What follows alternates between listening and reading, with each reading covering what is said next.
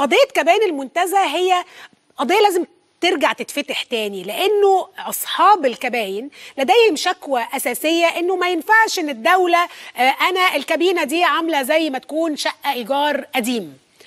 آه، ما ينفعش انك تيجي تقول لي لا والله انت هتمشي منها وأنا هغير العقد والقانون بيقول لك كده واخليك بالقوة. آه، الجبرية آه، بعد ما أنا عملت فيها التجديدات وبعد ما أنا يعني عايش فيها السن العمر ده كله وتيجي تقول لي انه أنا هطرحها بالمزاد. طيب ما انت لو طرحتها بالمزاد العلني قد ده يدخل للدولة الحقيقة فلوس كتيرة مش كتيرة قوي. يعني 10 مليون 15 مليون مثلا على كل الموضوع 100 مليون على كل الموضوع ده. لكن في النهاية أنت هتغير شكل هذه المنطقة.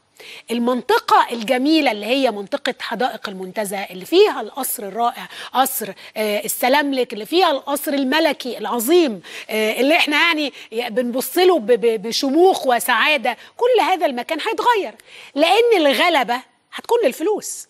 واللي معاه فلوس مش دايما هو اللي فاهم القيمة التراثية والقيمة التاريخية لهذا المكان.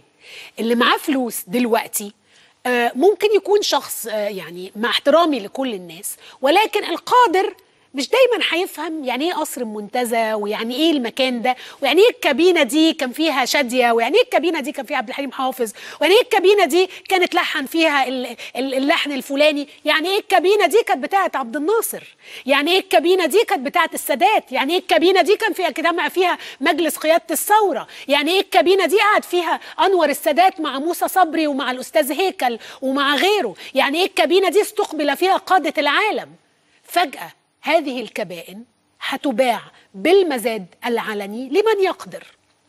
وأنا هنا ما بتكلمش على القانون وأنا هنا ما بتكلمش على الحق والقواعد وال... والإهدار المال العام والوزير وزير السياحة اللي خايف وكل مش هتكلم على القصة دي كلها. أنا بتكلم على شكل المكان آه، حضارة المكان تاريخ المكان. هو ده اللي بتكلم عليه هو ده اللي بقصده في طرح هذه القضية. والحقيقة لو اتشالت الكباين من كل الناس فعيب عليكي قوي يا دولة إنك تسحبي كابينة عبد الناصر من ولاد عبد الناصر والسادات من ولاد السادات والجمصي من ولاد الجمصي وأبو غزالة من ولاد أبو غزالة. عيب قوي عيب الناس دي بعد مدة عمرها وحياتها لهذا الوطن يبقى الكباين اللي هي على فكرة دي متر في متر. 36 متر الكابينة ولا 22 متر الكابينة. لكن الكابينة دي فيها تاريخهم فيها أبوهم فيها ريحة أبوهم فيها فيها تاريخ اتكتب. ياخدها واحد لا يسمع عن التاريخ ولا يسمع عن عبد الناصر ولا يسمع عن أم كلثوم ولا يسمع عن مين هو المشير الجمصي ولا يسمع مين هو المشير أبو غزالة. وياخدها ويجددها ويبيضها ويقول لك أنا قاعد في كابينة عبد الناصر؟